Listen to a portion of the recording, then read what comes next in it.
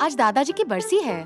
बरसी मतलब? आज ही के दिन दादाजी भगवान जी के पास चले गए। और इसीलिए हर साल आज ही के दिन हम पंडित जी को खाना खिलाते हैं। तो क्या पंडित जी दादाजी की स्विगी सर्विस है?